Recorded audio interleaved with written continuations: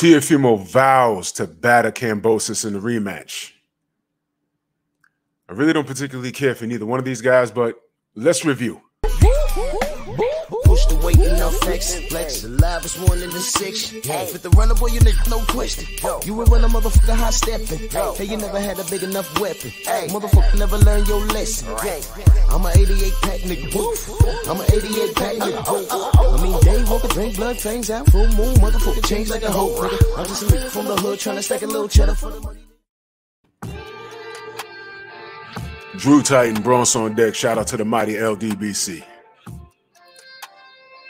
You know, every time this kid says something, you know, I look at it like, yo, your career basically just started, in my opinion, and I'm already looking at you as a guy that could have been. You could have done the right thing. You didn't do it. Even if you failed when you were supposed to do it, you didn't do it. You tried to go in another direction and you tripped and shot yourself in the head. What am I talking about? Well, there, there's there's there's a lot to unpack with Teofimo Lopez, but um, we're gonna we're gonna cover a little bit here in this video, just a little bit. All right. First off, let's review boxing scene. Link will be in the description. Um, Teofimo Lopez says he vows to batter Kambosos in a rematch. I particularly do not care for either one of those guys. I'll review, and for those of you who listen to me for the first time, I'll review just for your ears. But people who've been rocking with me for a long time, they know. You read what it says here. It says if there's a line in trash talking, Teofimo Lopez may dangerously be close to treading on it. The former lightweight champion from Brooklyn they don't claim him out here, from what I understand, but whatever. Was recently asked about his admittedly disastrous night last year against George Kambosos at Madison Square Garden in New York City. Lopez, the heavy favorite, suffered a points loss to the Aussie in what was arguably the top upset of the year.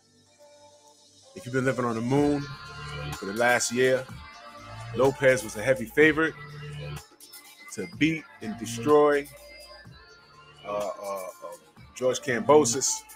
It didn't happen. He ended up getting dropped in the first round, came back. Um, he dropped, uh, he was getting out box, and then George Kambosos ran into some trouble the 10th or so, but maintained, and then it was back to business, and he washed Lopez. Y'all pointed him, and that was the end of it. Um, article also reads uh, Lopez, however, has not accepted the lone defeat of his career, at least judging by his public uh, pronouncements. In fact, he has gone as far to say that there was a conspiracy against him in that fight. Wait a minute.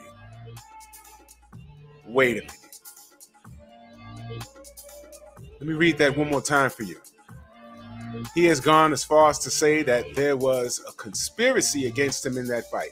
Lopez, to be sure, was hospitalized afterward uh, for what was reported to be the presence of air in his lung cavities, a life threatening condition. So let me stop right there for a second. You mean to tell me that Teofimo Lopez says that there's a conspiracy against him in that fight? He felt he won the fight, there was air in his lung, air in his lungs, the lung cavities, which was a life-threatening condition. I just heard Tio Senior say that he fought with a broken elbow. I was like, I just heard it just yesterday. Just yesterday, I heard that. I'm like, well, now his elbow was broke. So he had air in his lungs. His elbow was broken. I heard his throat collapsed, all kinds of weird stuff. Sounds like excuses. And Tio, let me explain something to you, man. And while your dad's listening, you too, man. This is boxing, right? No room for excuses, right? Let me remind you what this man said about Deontay Wilder. Just gotta be careful. I think that uh, whatever it is, I think Wilder has had too much time in his hands. He need to go back to the gym and he needs to start getting ready for another fight just to show people what he's he is the WBC heavyweight world champion and, and so on and so forth. So he can be back on that on that um, stable of fighting those guys like Fury and AJ again. You know, so he need to focus on his own damn self. Go back in the gym. He has too much time in his hands. Get ready for a fight. I don't know if he has a fight lined up. And just stop talking about a dent in your head and stuff like that. It happens. It's boxing. Move on. You're a grown man. Stop being a.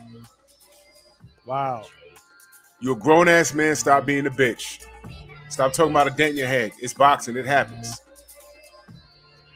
The man just said that there was a conspiracy against him in that fight. His father yesterday just said in an article somewhere, "Hey man, he had a broken elbow. His his his throat collapsed.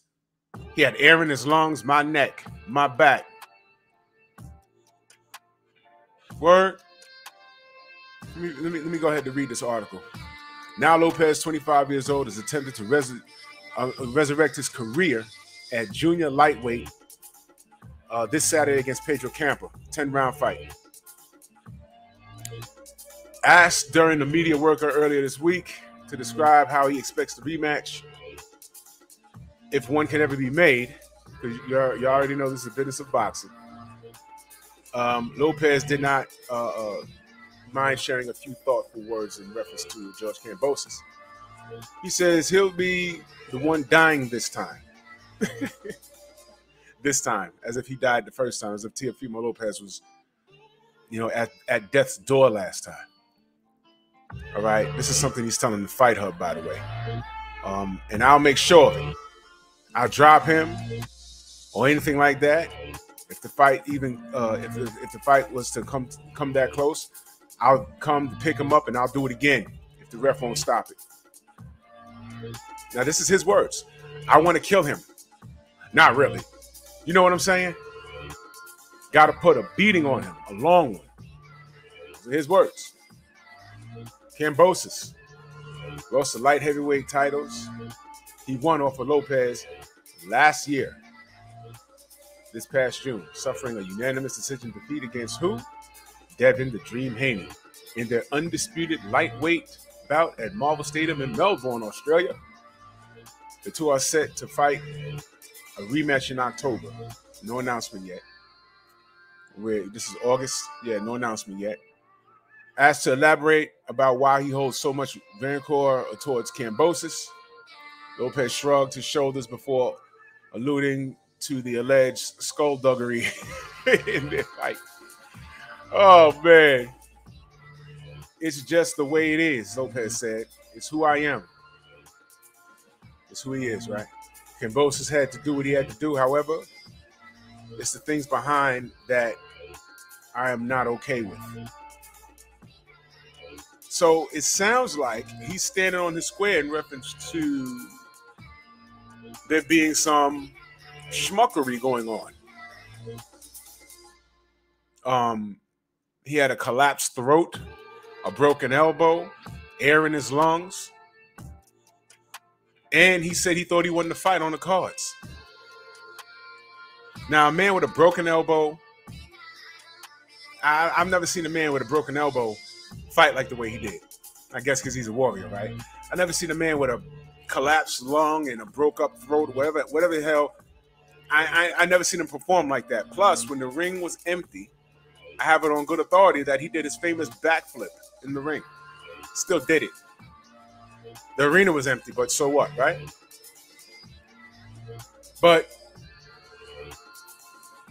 he still feels that there's a conspiracy against him. You know what, Teofimo, man? What this is is the universe. Let me bring you up to speed. And this is the short version. Myself and a lot of people rooted for you against Teofimo, I mean, against uh, uh, uh, Vasily Lomachenko. We picked you to win it. We said Lomachenko's un- he's overrated, and you're gonna beat him. Nobody anticipated Lomachenko not throwing a punch until the sixth round, but whatever. And although he picked up the pace, you did enough to win the fight, and we were happy for you.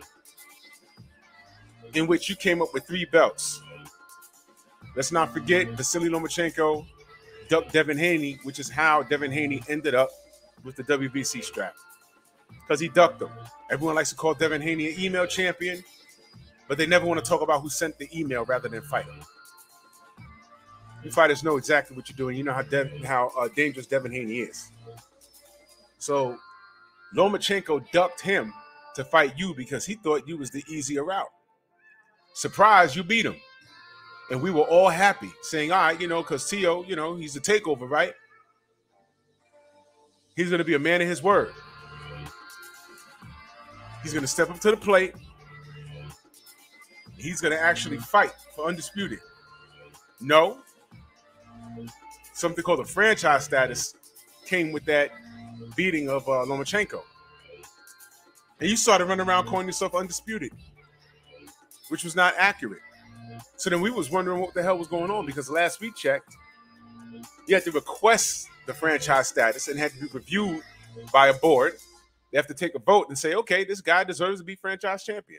Something that happened with Vasily Lomachenko, but we're still not clear on that because we know what the rules say. You have to uh, ask to be franchise champion, and they have to vote on it. That's what the rules say, unless it's changed in the last year. You know, Mauricio Sulaiman and these sanctioning bodies, all of them, they change rules every other minute.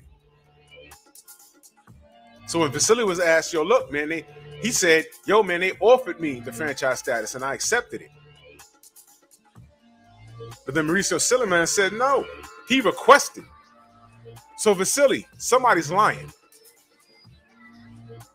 Whether it was offered to you and accepted or you asked for it, you had to say yes at some point because you had it. And remember when the, uh, the franchise status was not transferable? Well, surprise. Tio wins and he ends up with it. And Vasily went home with nothing. You ducked Devin and you lost your belts to uh, Lopez, and we were happy. But then there was a problem. You started talking about, oh, I'm, I'm undisputed. We was like, no, no, no, no, no, no, wait, hold on. Devin has a real belt. And then the games began. That's how it happened, Teofimo. You sold out, man. And we found out later that Devin was never on the menu. You thought we forgot? You thought we forgot about the interview you did? I play it often. I'm not gonna play it now. You sat down with, with Mauricio Sulaiman. And during the interview, you said that you and Sulaiman and your daddy or whatever put together a plan, and Devin being a champion was never on the menu. So you could scream and holler and, and, and boast and do everything. You remember that? You know what? I gotta play it. I gotta play it for y'all. I gotta play it for y'all. Nope. I'm gonna play it. Let's see.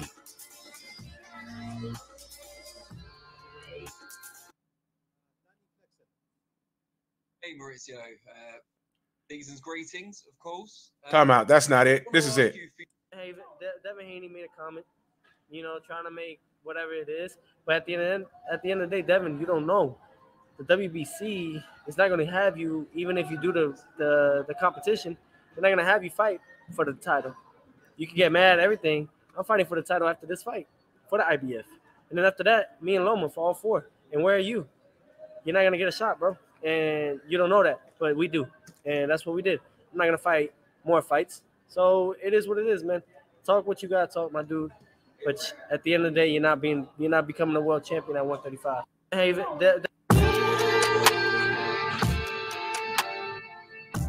In the words of Roy Jones Jr., y'all must have forgot.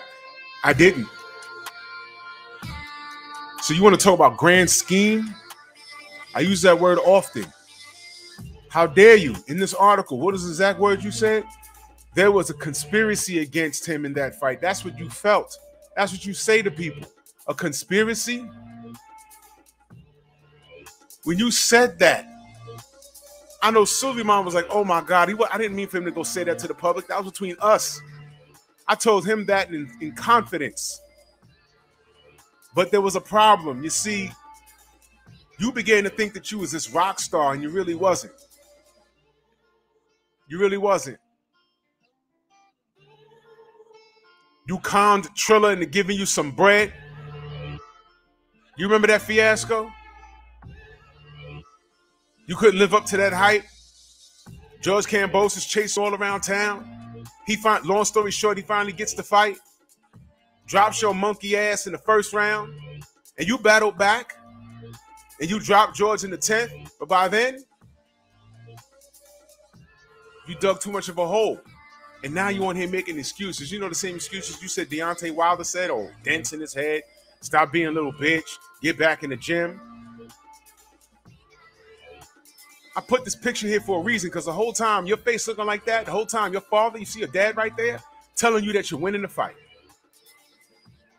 And now that you've lost, it was my throat, my lungs, my elbow now. That just yesterday, I'm hearing about his elbow being broken. That's what your father said, my man. With each passing day, you look dumber. Now you're at 140. You got some work to do tonight. You could wash this kid or, you know, look average. What's, what's next for you 140? Ryan Garcia? Hey, man, I think you beat Ryan Garcia. But um, Josh Taylor, pump your brakes. Catterall, pump your brakes. This is shark infested water. See, this is what you get. You may as well just fought Devin Haney, but that's gone now.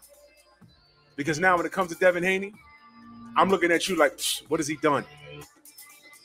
What has he done? You don't deserve it now. What have you done? Man, y'all believe the hype of this kid if you want to. But um, we know what he called himself, but with each passing day, when he started acting funny, the takeover became the fake over really fast, didn't it? But we're gonna see what you do tonight. I mean, you supposed to win. Are you? Your dad said their only mistake was sticking around 135 for too long. No. Your mistake was not being a man of your word. Your mistake was believing in Mauricio Sulaiman, but you know what? Sulaiman would have took care of you. All you had to do was win. Your mistake was taking George Kambosos not serious. You didn't think he was a threat. He boxed your goddamn face in. Now, how does a rematch play out? I don't know. But boxing 101 says you make a, your opponent dangerous when you don't take him serious. So if y'all do run it back, who knows? Maybe the real Teofimo will come out. Who knows? Or maybe George is on even even that even though he lost to uh, uh, Devin Haney, maybe he's still on all cylinders. Maybe he looks at you as light work now. Maybe he gets in there and starts clowning you. He outboxed you once. There's no reason why he feels he can't do it again. So y'all need to come to an agreement. In fact, forget Ryan Garcia. I don't want to see anything else after this fight tonight. I don't want to see anything else but you versus Georgie Porgy. If George don't get that rematch with um Devin, because that's not etched in stone. I don't care what no one says. But y'all tell me, y'all let me know what y'all think, man. Bronx on deck.